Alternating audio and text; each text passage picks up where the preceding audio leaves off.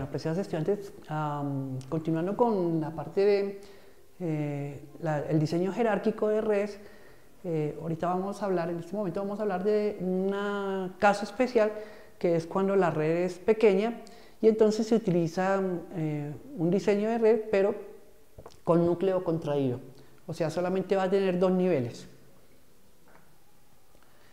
El objetivo pues es comprender la utilidad del diseño del núcleo contraído y comprender en qué caso se debe utilizar.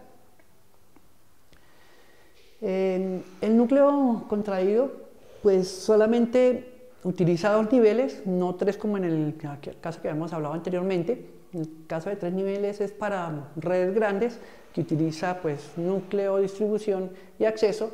En este caso solamente vamos a utilizar dos. Vamos a utilizar de, eh, eh, solamente el, el, de acceso y el del núcleo de distribución van a estar unidos. Los tres niveles de, que hablábamos, pues que son núcleo de distribución y acceso, pues lo que, lo que buscan es que generen máxima disponibilidad, máximo rendimiento y máximo escalamiento. Cuando la red es pequeña, entonces pues no, y se nota que no crece mucho, o a través del tiempo no crece mucho, pues eh, se puede utilizar un núcleo contraído y ya eh, solamente utilizamos de esos tres, pues dos niveles, y en la capa de núcleo eh, se junta con la capa de, de distribución, mm, solamente se hace una capa, la capa de acceso. Entonces, el núcleo contraído es un único dispositivo que realiza las funciones de la capa de distribución y la capa de acceso, así lo podemos definir.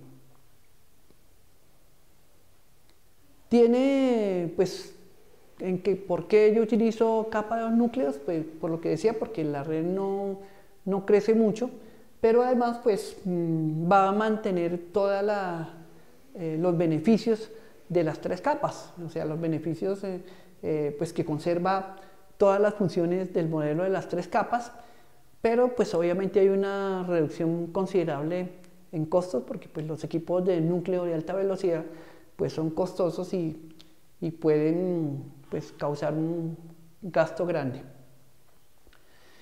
Eh, aquí están, aquí se ven pues los dos diseños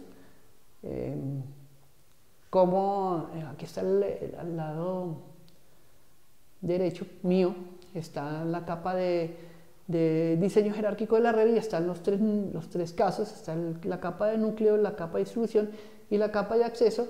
Y aquí con el núcleo contraído solamente se ve la capa de acceso acá y la capa de núcleo contraído, pues que está haciendo las dos funciones de la capa de distribución y la capa de núcleo. Es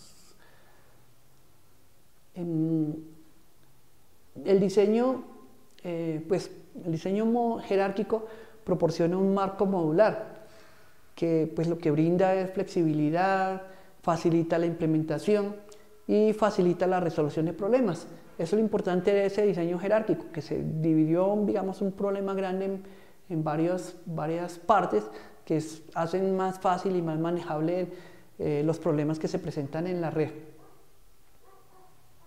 Y pues ese es el caso del núcleo contraído. Ya después continuamos con otros tipos de diseño de red empresarial, otras partes que se agregan a las redes. Bueno, muchas gracias, nos vemos en el próximo.